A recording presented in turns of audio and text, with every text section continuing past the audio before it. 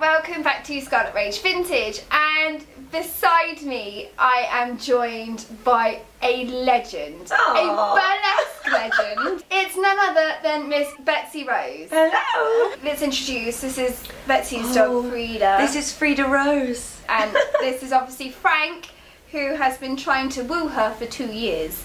Uh, it's gone nowhere. Let's let's start from the beginning Yeah. on how you got involved in burlesque. Initially, the, the thing that drew me to it was its aesthetic and how it drew upon all of the wonderful vintage elements that I love in life Okay. and my performance background. So I started off as a dancer Yeah. and I've been dancing my whole life and uh, it was when I was still training at dance college, Yeah. a dance and musical theatre college I went to, when I first got into burlesque, which was 10 years ago. And I was able to have complete creative control Yes. over whatever dance dancer I wanted to be or character I wanted to be Okay. and pull in all of the um, original elements of burlesque because Okay. the burlesque style I do is very classic. It's very authentic. I'm inspired by the original dancers from the 40s. you know, Yeah. Gypsy Rose Lee, Lili. Cyr, Sally Rand.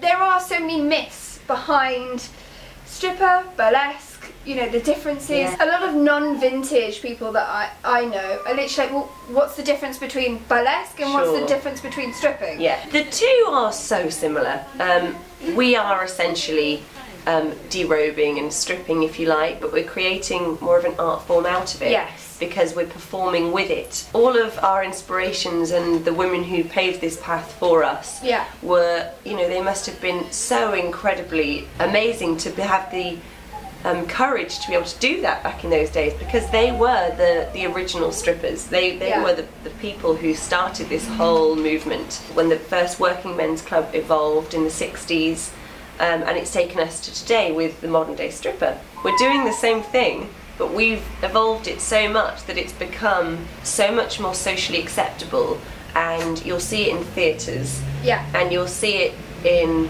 you know perhaps even on TV not like they're broadcasting a burlesque show but the idea of a burlesque dancer Yeah. has become so much more mainstream and it's less underground and it's less taboo whereas a stripper is still taboo Both of them are an art form. exactly yeah With you, with the costumes that you do, you do beautiful on period style costumes. Now, not, not necessarily they're vintage, you have them Exactly. custom made. Yeah. Costume's a big thing for. absolutely yeah because I mean, it's a all visual your money must go towards costumes.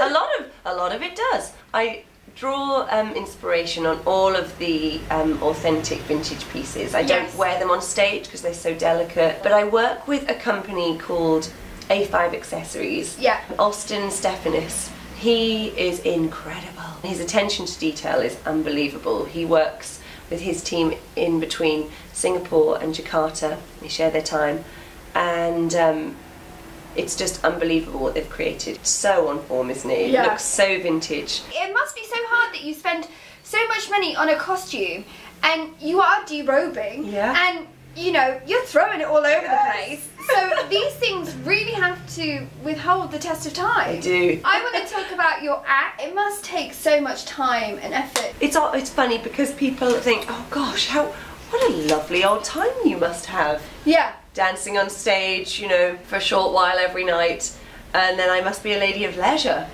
Well, of course, I make time for leisure. Yes, Uh, we all have should. to.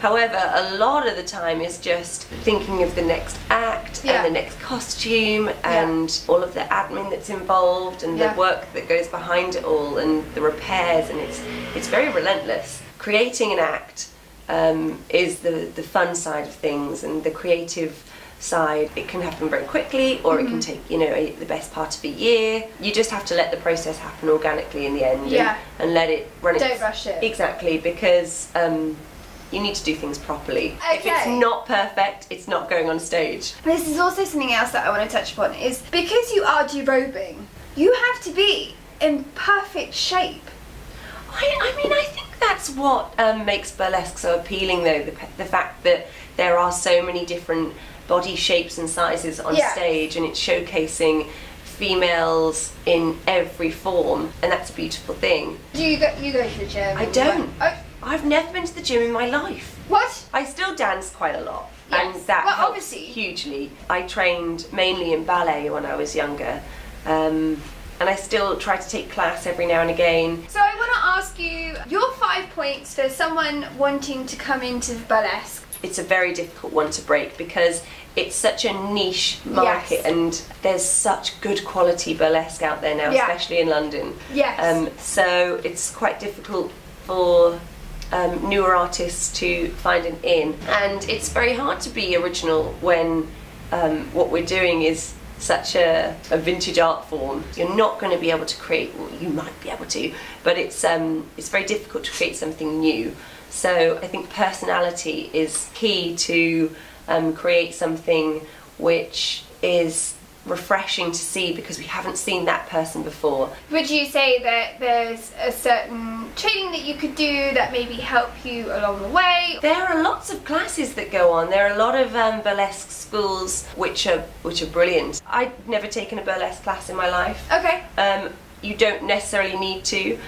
I think you just need to have confidence in yourself, whatever you are. The best way is just to apply any knowledge that you've had and just to not be ignorant to these amazing experiences that you may have had, regardless if they're in theatre or Okay. whatever your background is. Because that's what's going to make you unique. That's also the beauty of it because we've all come from different backgrounds. Yes.